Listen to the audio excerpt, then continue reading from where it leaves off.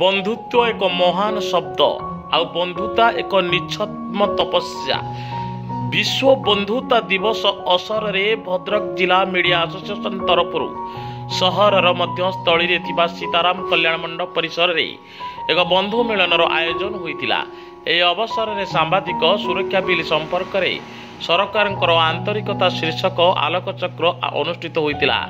ଉତ୍କଳ ସାମ୍ବାଦିକ ସଂଘର ଭଦ୍ରକ ଜିଲ୍ଲା ସଭାପତି ତଥା ମିଡ଼ିଆ ଆସୋସିଏସନର ମୁଖ୍ୟ ଆବାହକ ବରିଷ୍ଠ ସାମ୍ବାଦିକ ରବି ନାରାୟଣ ଖିଲାରଙ୍କ ସଭାପତିତ୍ୱରେ ଅନୁଷ୍ଠିତ ଏହି ଆଲୋଚନା ଚକ୍ରରେ ଅତିଥି ସାମ୍ବାଦିକ ଭାବରେ ବିଧାୟକ ପ୍ରତିନିଧି ତଥା ଆଇନଜୀବୀ ରୋଟୋରିଆନ ଅତୀଶ କୁମାର ବେହେରା ଯୋଗ ଦେଇଥିବା ବେଳେ ସାମ୍ବାଦିକ ଶୁଭଦୀପ ମଲ୍ଲିକ ସ୍ୱାଗତ ଭାଷଣ ଓ ମନୋରଞ୍ଜନ ବାରିକ ଅତିଥି ପରିଚୟ ଦେଇଥିଲେ। ଅନ୍ୟମାନଙ୍କ ମଧ୍ୟରେ ବରିଷ୍ଠ ସାମ୍ବାଦିକ ପ୍ରମୋଦ ରାୟ ଆସୋସିଏସନର ସଭାପତି ମହେଶ କୁମାର ମିଶ୍ର ଜ୍ଞାନରଞ୍ଜନ ପାଣି ତପନ କୁମାର ସ୍ୱାଇଁ ଚାରୁଦତ୍ତ ନାୟକ ନରେନ୍ଦ୍ର ସାମଲ ଓ ତପନ ମିଶ୍ର ପ୍ରମୁଖ ମଞ୍ଚାସୀନ ଥିଲେ।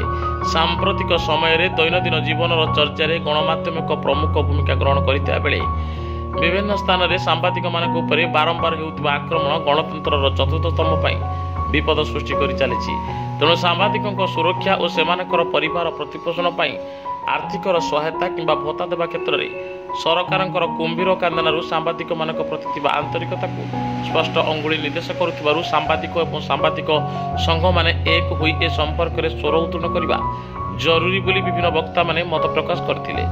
ଏଥିରେ ପାର୍ଥ ସାରଥୀ ନାୟକ ପ୍ରିୟଦର୍ଶନୀ ବୋଇତି ସଞ୍ଜୟ ଦାସ ଅବିନାଶ ପଣ୍ଡା ରାଜେଶ ଦାସ ଶାନ୍ତନୁ ପଣ୍ଡା ଲଲା ପ୍ରମୋଦ ରାୟ ରମେଶ ପାଗଳ ବିଭୁପ୍ରସାଦ ବେହେରା ସନ୍ତୋଷ କୁମାର ଦାସ ବିଜୟ ପଣ୍ଡା ଲିପିକା ରାଉତ ଅର୍ପିତା ଓଝା ରମେଶ ପତି ଓ ବିଜୟ ପଣ୍ଡା ପ୍ରମୁଖ ଜିଲ୍ଲାସ୍ତରୀୟ ଓ ଗ୍ରାମାଞ୍ଚଳର ବହୁ ସାମ୍ବାଦିକ ଯୋଗ ଦେଇଥିଲେ। କାର୍ଯ୍ୟକ୍ରମ ପରିଚାଳନାରେ ଦେବେନ୍ଦ୍ର ନାୟକ ସହେଦ କାତ୍ରି ଓ କମଳଲୋଚନ ପଣ୍ଡା ପ୍ରମୁଖ ସହଯୋଗ କରିଥିଲେ। ମୁଁ ସନ୍ତୋଷ କୁମାର ଦାସ ପ୍ରମେୟ ସାମ୍ବାଦିକ। ଆଜି ଏ ଯେଉଁ ଆଲୋଚନା ଚକ୍ର ଆମର ଭଦ୍ରକଠାରେ କଲ୍ୟାଣୀ ମଣ୍ଡପ ଆମର ଭାଗବତ କଲ୍ୟାଣୀ ମଣ୍ଡପଠାରେ ହେଉଥିଲା ଯେଉଁ ସାମ୍ବାଦିକ ସୁରକ୍ଷା ଓ ଆଲୋଚନା ଚକ୍ର।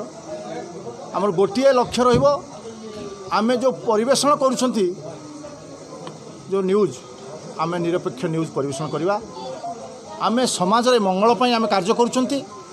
ଆମ ସୁରକ୍ଷା ପାଇଁ ଆମେ ସରକାର ପାଖରେ ଦାବି ରଖିବା ଯେମିତି ଆମକୁ ସୁରକ୍ଷା ସେ ଦିଅନ୍ତୁ। ଆଗାମୀ ଦିନର ଆମର କେମିତି ଦରମା ଆକରେ ପ୍ରାପ୍ୟ ଦିଅନ୍ତୁ ଏଇଟା ଆମର ମୂଳ ଲକ୍ଷ୍ୟ ରହିବ। ସାମ୍ବାଦିକ ସୁରକ୍ଷା ଉପରେ ଯେଉଁ ଆଇନ ଅଛି ସେଇ ବିଷୟରେ କିଛି କହିବ ଦେଖନ୍ତୁ ସାମ୍ବାଦିକ ସୁରକ୍ଷା ବିଷୟରେ ଯେଉଁ ଆଇନ ସରକାର ଆଜି ଆମକୁ ଅନ୍ୟ ଷ୍ଟେଟ୍ରେ ହେଇଗଲାଣି। ଆମ ଓଡ଼ିଶା ସରକାରକୁ ଆମେ ଦାବି ରଖିବା ଆମର ସଂଘ ମାଧ୍ୟମରେ। ସମସ୍ତ ଆମର ରହିଛନ୍ତି ସିନିୟର ସାମ୍ବାଦିକ ରହିଛନ୍ତି ମୋ ପାଖରେ ଅଛନ୍ତି ବଡ଼ ଭାଇ ଆମର ରବିନାରାୟଣ ଖିଲାର ସେ ତାଙ୍କ ନେତୃତ୍ୱରେ ଆମେ ଭୁବନେଶ୍ୱର ଯାଇ ଆମ ରାଜ୍ୟ ସଭାପତି ଅଛନ୍ତି। ଉତ୍କଳ ସାମ୍ବାଦିକ ସଂଘର ରାଜ୍ୟ ସଭାପତି ଅଛନ୍ତି ବି- ବିଭୂତି ଭୂଷଣ କର। ତାଙ୍କ ନେତୃତ୍ୱରେ ଆମେ ସରକାରଙ୍କ ପାଖରେ ଦାବି ଉପସ୍ଥାପନ କରିବା ଯେମିତି ଖୁବ୍ କମ୍ ଦିନ ଭିତରେ ଆମର ଯେମିତି ଦାବି ସରକାର ଶୁଣିବେ ସେହି ହିସାବରେ ଆମେ ଚାପ ସୃଷ୍ଟି କରିବା। ଭଦ୍ରକ ଜିଲ୍ଲାରୁ ବ୍ୟୁରୋ ଚିଫ୍ ଦିଲ୍ଲୀପ ଖୁଣ୍ଟିଆଙ୍କ ରିପୋର୍ଟ ସାଇ ସତ୍ୟ ନ୍ୟୁଜ୍।